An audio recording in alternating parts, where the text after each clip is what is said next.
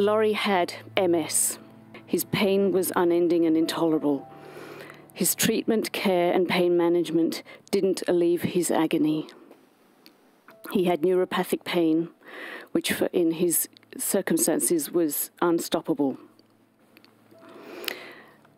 I was naive enough to think that the pain specialists, physiotherapists, neurologists, stem cell treatments, specialist GPs could help him. And they did. They were wonderful. They, they cared for him.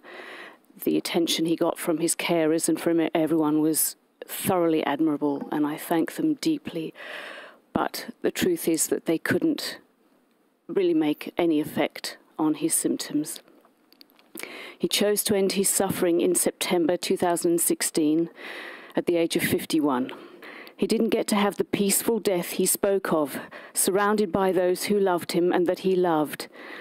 We lost him earlier than was necessary, as he was losing the use of his hands, and he felt he needed to take action quickly before paralysis took control.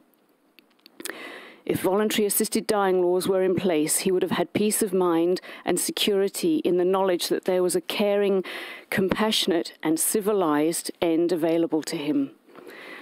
I've included the word civilized because surely this has to be one of the clearest indicators of a true civilization how we as a society treat the ill and suffering, those who are tortured by pain and incurable symptoms. It's more compassionate to allow, to allow someone to say goodbye to their family. It's more humane to stop someone's pain. It's more civilized to let loved, loved ones be supportive and involved. And ultimately, fear will be lessened, life may be extended, and damage will be considerably less for all concerned. I lost time with the love of my life, my best friend, my children missed out on precious experiences with their, with their father. And, sorry, and Lawrie missed seeing his pride and joy, his children growing into the wonderful people they are. He said, There are some things worse than death. Now, I can't say how long uh, he would have lived if he had not taken matters into his own hands.